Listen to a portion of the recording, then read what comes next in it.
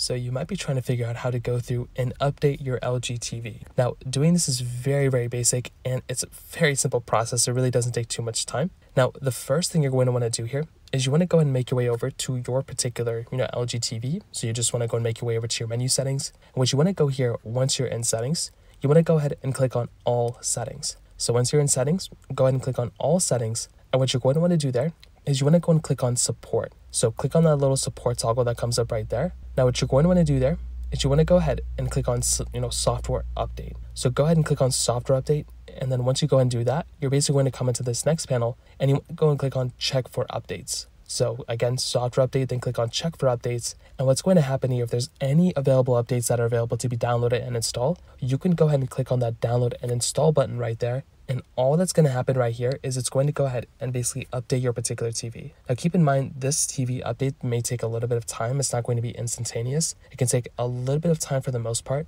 So just let it kind of update, let it do it, you know, let kind of do its thing. And after a few moments, you should be able to see that your particular TV has been updated and that's really all you're going to have to do. It really is that basic. Again, if you're getting into, into like some random issues, you can always try restarting your TV, plugging it in, plugging it back out. But those are basically the main ways to go and basically update your LG TV. If you have any other thoughts or questions though, let me know in the comment section below. Hit the like button, that'll mean so much, but definitely hit that subscribe button. More importantly than everything else, I love every single one of you guys. Hopefully I'll catch you guys in the next video. Peace out till then.